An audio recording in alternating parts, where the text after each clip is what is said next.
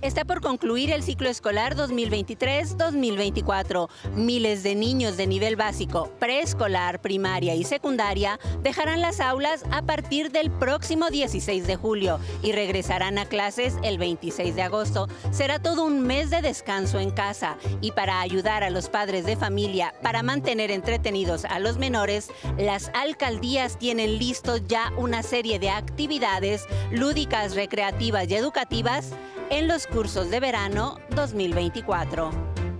Con el programa Verano en Grande 2024, en la alcaldía de Tlalpan, menores de entre 6 a 14 años de edad podrán disfrutar de actividades deportivas, lúdicas, culturales y recreativas. Vamos a tener actividades como natación, básquetbol, fútbol, eh, dibujo, todas las técnicas de dibujo para que los niños aprendan a dibujar.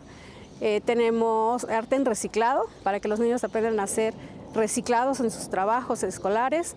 Durante cuatro semanas, más de 90 talleristas promoverán la convivencia entre los menores y se convertirán en aliados de madres de familia que trabajan y no saben dónde dejar a sus hijos. Los talleristas los entrevistamos, ellos tienen que acreditar eh, con alguna certificación o alguna, algún eh, diploma o diplomado que tienen el conocimiento para impartir todas las materias todos, todos, desde natación, karate, todos los maestros que contratamos tienen que acreditar que tienen el conocimiento. En la alcaldía Benito Juárez, el área de deportes tiene listo el campamento de verano 2024. Está dirigido a menores de entre 6 a 15 años de edad. Habrá actividades como Zumba Kids, handball, tocho bandera, natación y juegos en arenero. Como cada año, en la alcaldía Xochimilco los menores podrán aprender a elaborar y manipular títeres y teatrinos con materiales reciclados. Esto en el curso de verano para niñas y niños a partir de los 7 años de edad.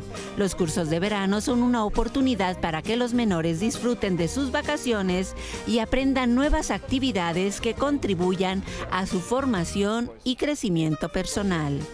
La mejor noticia es que todas estas actividades son totalmente gratuitas. Sin embargo, hay que apurarse porque tienen cupo limitado. Para imagen, Hilda Castellanos. Bueno, ahí tiene usted algunas opciones.